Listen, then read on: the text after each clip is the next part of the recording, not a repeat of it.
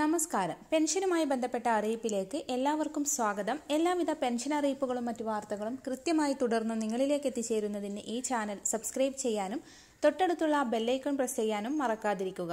ഈ ഇൻഫർമേഷൻ കൂടുതൽ ആളുകളിലേക്ക് എത്തിച്ചേരാൻ വീഡിയോ ലൈക്ക് ചെയ്യുക. സംസ്ഥാനത്ത് ആയിരത്തി അറുന്നൂറ് രൂപയുടെ പെൻഷൻ വിതരണം അവസാനിച്ചു. ജൂലൈ മാസത്തെ ആയിരത്തി അറുന്നൂറ് രൂപയാണ് വിതരണം ചെയ്തത്. സംസ്ഥാനത്ത് നേരത്തെ നാലു മാസത്തെ പെൻഷൻ കുടിശ്ശികയുണ്ടെങ്കിലും അടിയന്തരമായി ഒരു മാസത്തെ തുക വിതരണം ചെയ്യാൻ സർക്കാർ തീരുമാനിക്കുകയായിരുന്നു. വിതരണം പൂർത്തിയായ സ്ഥിതിക്ക് ഡിസംബർ ഇരുപത്തിമൂന്നിന് മുൻപായി ഓഗസ്റ്റ് സെപ്റ്റംബർ മാസങ്ങളിലെ മൂവായിരത്തി രൂപയുടെ വിതരണം കൂടി ഉണ്ടാവും. അതേസമയം വളരെയധികം സന്തോഷം നൽകുന്ന അറിയിപ്പാണ് ധനമന്ത്രി കെ എൻ ബാലഗോപാൽ പങ്കുവച്ചിരിക്കുന്നത്. സംസ്ഥാനത്ത് നാലിലം ക്ഷേമ പെൻഷനുകൾ ആയിരത്തി അറുന്നൂറ് രൂപയായി ഉയർത്തുവാൻ തീരുമാനിച്ചതായി ധനമന്ത്രി കെ എൻ ബാലഗോപാൽ അറിയിച്ചു.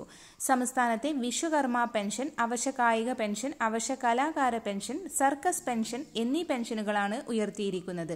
അവശ കലാകാര പെൻഷൻ നിലവിൽ ആയിരം രൂപയായിരുന്നു. അവശ കായിക താരങ്ങൾക്ക് ആയിരത്തി മുന്നൂറ് രൂപയും സർക്കസ് കലാകാരന്മാർക്ക് ആയിരത്തി ഇരുന്നൂറ് രൂപയും വിശ്വകർമ്മ പെൻഷൻ ആയിരത്തി നാനൂറ് രൂപയുമായിരുന്നു നൽകി വന്നിരുന്നത്. ഇത്തരം മേഖലകളിൽ നിന്നും പെൻഷൻ കൈപ്പറ്റുന്നവർക്കാണ് പെൻഷൻ തുക ഉയർത്തി ഉത്തരവ് വന്നത്.